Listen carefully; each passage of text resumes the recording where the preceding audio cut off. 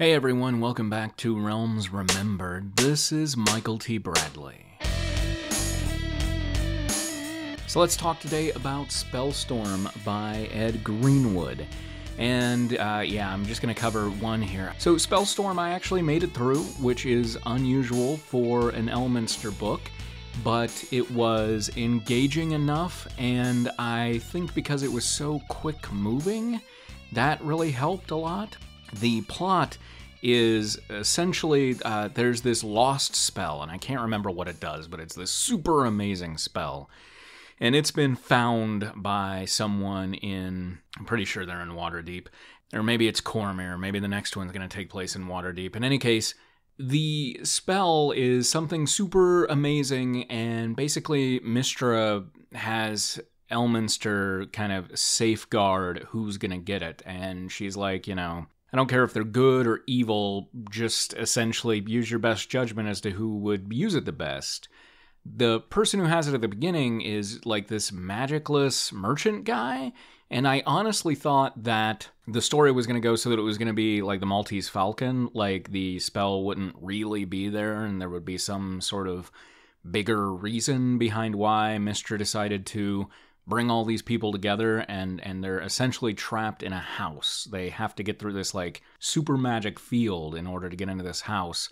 And then once they're there, you know, it, it, it's, I don't know, it's like Survivor, it's like Last Man Standing, yada, yada, yada. More than anything else, of course, it is Agatha Christie's and then there were none because it's like a, a, mystery around who's causing the murders once the murders start to happen. Because, of course, you get like 10 wizards stuck in a house together uh, trying to fight over a spell, and there's gonna be killing, right? But the fun thing, it's it's like from the time of troubles. What were those called? Like pockets of wild magic or whatever. And this is similar to that, though I think it is like pure spell plague magic that's going on. And so magic sometimes works, but sometimes doesn't. And I'm just like, well, you'd have to be an absolute moron to cast spells in here. But like everybody keeps casting spells, and uh, they only work like a third of the time. The rest of the time, something crazy happens and sometimes it can be terrible for you, but because they're wizards and they're addicted or whatever, I don't know, it, it just keeps going. Some amusing things about this.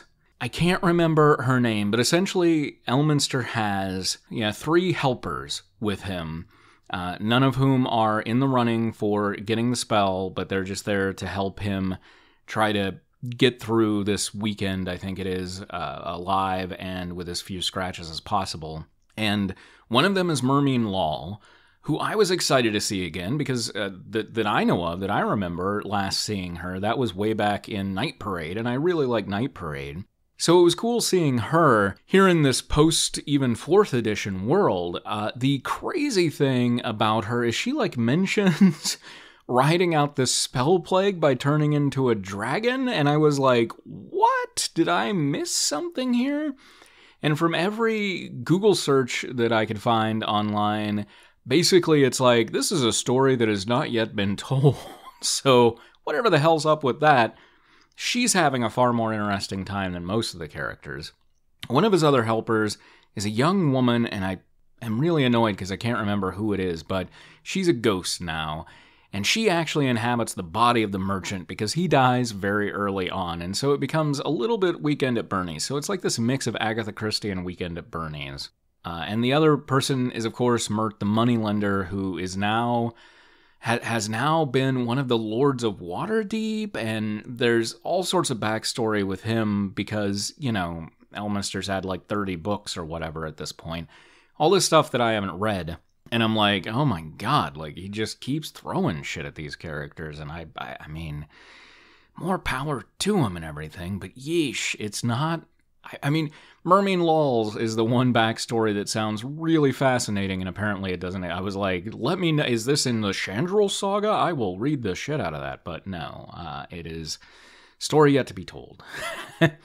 and and since it seems Wizards is now kind of loosening what when the fiction can take place because you know that's um, um, I'm I'm a member of a, a, a few different realms things online um, uh, groups and everything. And so many people have been excited over the past couple of weeks getting their copy of Timeless, and I don't care, but I, I, read the synopsis just in case, and like apparently half or maybe even more than half takes place in the past, and it's like, huh, I wonder if this is their way of saying that they're going to kind of loosen their rule about fiction having to be equivalent to where the game is right now, because I think that would be awesome. Like, especially the years in between, what was it, like 1375 and 1462 or whatever the years in between third edition and the Spell Plague. I would love to read some stuff about that, see the kind of the lay of the land and how things changed and so on and so forth, especially with Sembia. But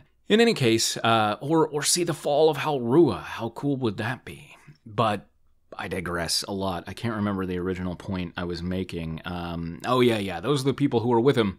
All of the people vying for the scroll, there are a couple for sure that I think uh, people will recognize. One of them's a Harpell, and I'm I know Harpells have shown up in Salvatore. I'm pretty sure, and he's like the kind of uh, token good guy. You know, he's the super good guy. He's his plans to use the spell are completely beneficent to society and yada yada yada.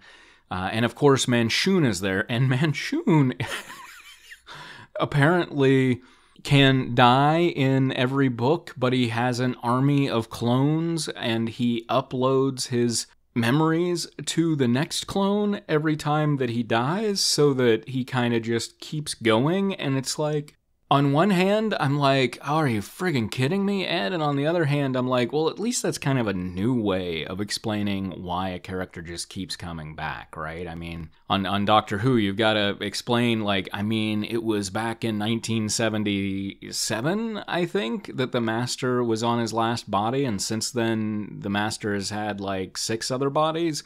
So you have to keep thinking up new ideas for that to happen Whereas Ed has a built in get out of jail free card for uh, the Master at Manshoon, essentially.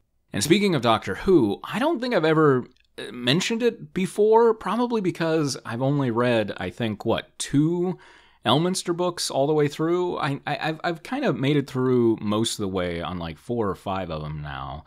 I think Ed Greenwood's version of Elminster or, or his vision of Elminster is pretty close to the Doctor, but like a like a a doctor with a colonel side, maybe less so uh, at this point, but a, doctor with, with at least a flirtatious side, because he can. Uh, do you guys remember that bit on one of the early Futurama episodes where they parody Mash and they have like the Alan Alda bot who goes from like chicanery to maudlin at the flip of a switch.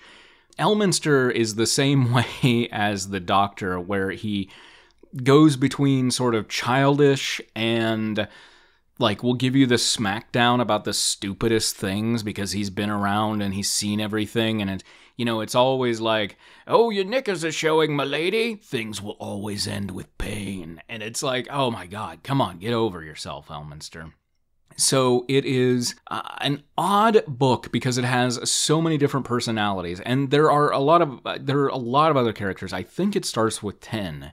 Uh, and and so the Harpell guy and Manshoon are two of them, and then there's like a snake princess and it, just a ton of people uh, who I was trying to keep straight, and I did a very bad job. But the the cast fairly quickly gets whittled down, so that's helpful in keeping everybody straight. But at one point, and I really wonder if Ed's editor forced him to put this bit in there because it's so myriad and Byzantine, the plot, that there's this one point towards the end where basically they're like, okay, who did what now? And it's, it's kind of like the last scene in Clue because Elminster has to be like, okay, so Mr. Pink killed um, Colonel Mustard in the library with the candlestick, but then Aunt Petunia killed so and so, you know, and, and it's like, it's all listed out because it's not just that there's one murderer, it's that people have been trying to kill each other left and right, and some of them are succeeding. And I was like, I read that section and I'm like, I still don't follow it. I don't really care. I know who's alive now. Let's go from there. Bam. And of course, like, I don't think anyone even gets the spell in the end. Is it I think Elminster destroys it. I, I don't know. I don't, I don't even remember how it ends because I'm like, I don't care. I really don't care. But I did enjoy the book well enough. And. and then at another point, oh, this is also very Doctor Who. I'd forgotten about this. At another point, some assassins or whatever steal in and they're supposed to kill Manshoon. And Manshoon like convinces them that he's the guy who hired them, but in disguise. And he's like, "Oh, I already killed him, but I'm glad you're here. We're gonna take over the castle." And they believe him, and I'm like, "This is this is brilliant because it's so ridiculous." It's and then there were none, but done at eight times speed and with a you know Benny Hill sort of insane laugh track in the background which is definitely not my style, but I think it works. I think overall it works. And like I say, it, it just really moved. Like, just getting through this book, it, it felt like it was about half the size that it is because it just moved really, really quickly. And I love that Ed puts this, I've, I've got it pulled up on my um, internet right in front of me right now while I'm recording. And so I see the first couple of pages, and I love that Ed put this like map of the mansion in there as if it was an adventure that was running. And very quickly, I, I like I I like maps in general, but very quickly I was like, I am not looking at this damn map. Like, I, there's no way that I'm gonna follow all this. It just is, you know, I, and like 60% of the damn book takes place in the kitchen, so really, what more do you need?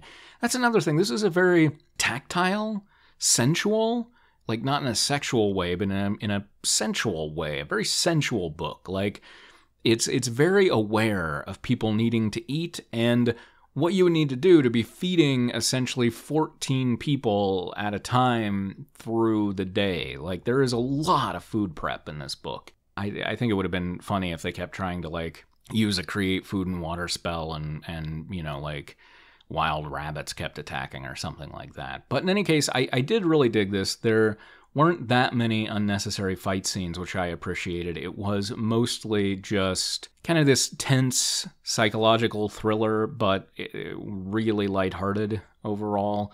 I don't know. Greenwood style is still definitely not my style, but I thought it worked here in a cohesive way and it was fun enough. So I am happy that I'm not just skipping two of our last three books and I'm kind of looking forward to Death Masks, although I think that's gonna have Storm Silverhand in it. That's that's what like the very end is like. I gotta go help Storm, and I think Waterdeep. I, I think everything's Waterdeep, I guess. And and um and I'm like, oh, that doesn't really hold my interest, but whatever.